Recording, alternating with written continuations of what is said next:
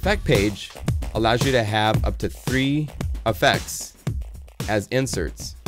And then there's four auxiliaries. And the auxiliaries show up on the mixer page right here. One, two, three, four. So if I want just reverb, lower reverb delay.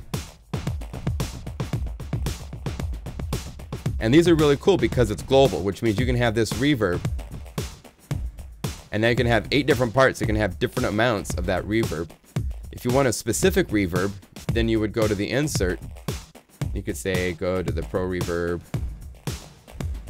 make it short. Hit the more button if you want to control separate timing, width, diffusion, freeze. The compressors are awesome. These are serious compressors. Bring down threshold,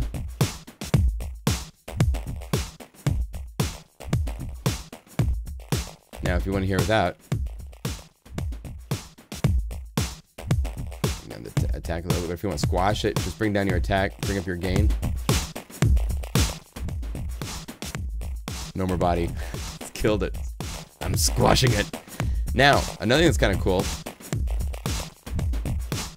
There's all these presets. If you right click, you've got also a handful of presets to get you going.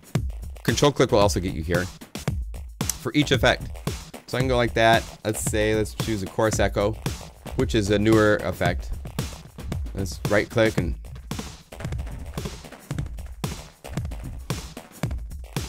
Again, look down here at this little box. Maybe even more important for the effects because the balance is so sensitive and a very, very small balance is going to give you a lot of effect. All right, another thing you can do with the effects is load up a preset. And if you right click up here, you've got all sorts of, these will load up to three effects that when you apply it to one patch, let's go overdriven. I love Primal Screamer. Bring down the mix.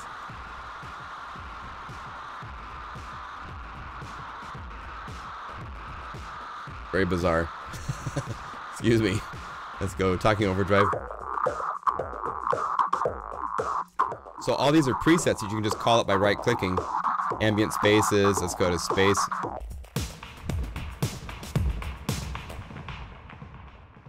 A lot going on there.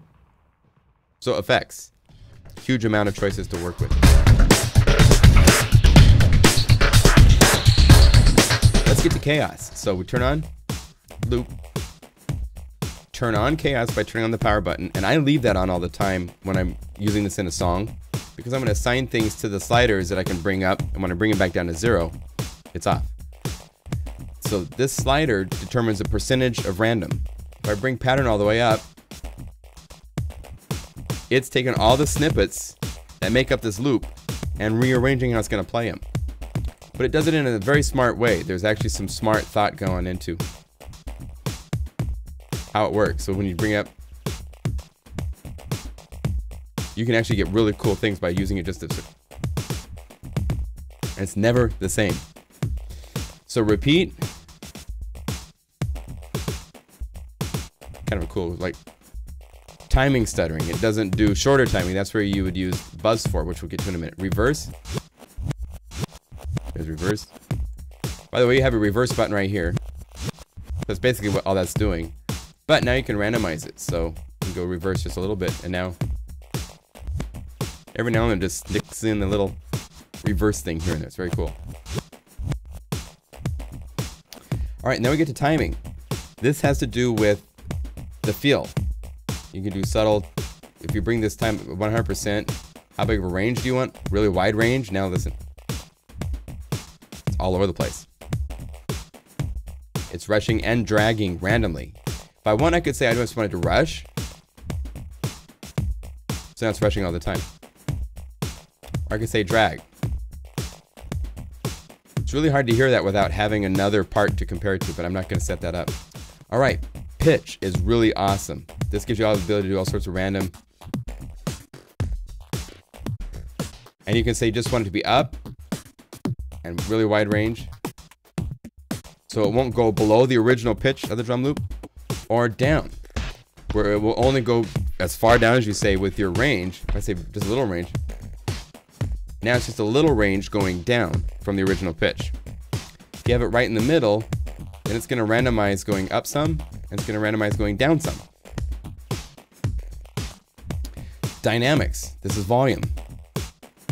This only works if velocity is turned on the amp. If this is off, it doesn't do anything because what it's doing is it's randomizing the velocity values. So if you go back to chaos, you can say wide range, soft only,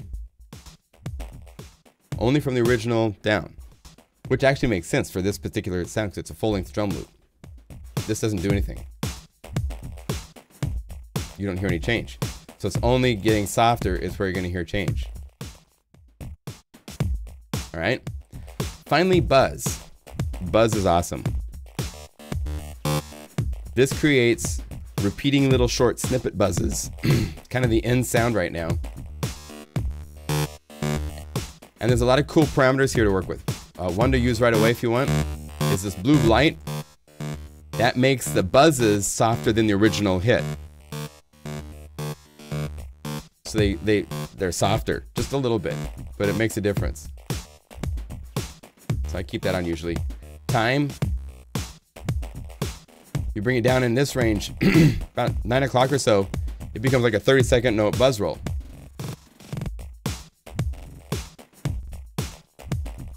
More.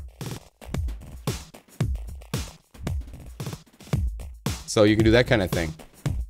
Now, if you want, you can go to speed, and I can say I want to speed it up. So I want to call it up. It's, I want to give some range to timing, or speed, slow down. So start fast, but slow it down.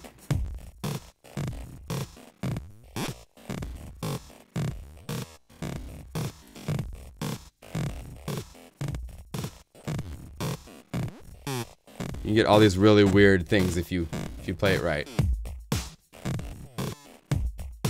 So now let's have some fun for a minute. Let me show you something. Let's go to MIDI learn, learn control, touch bob, touch the uh, buzz, and then my, my mod wheel. And let's do the same thing for a couple other things. So we go learn control. Let's say learn pattern also to my mod wheel.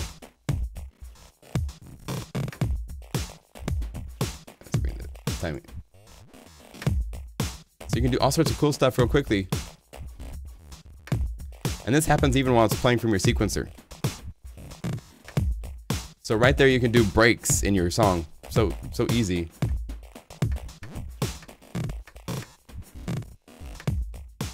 there you go. That's chaos.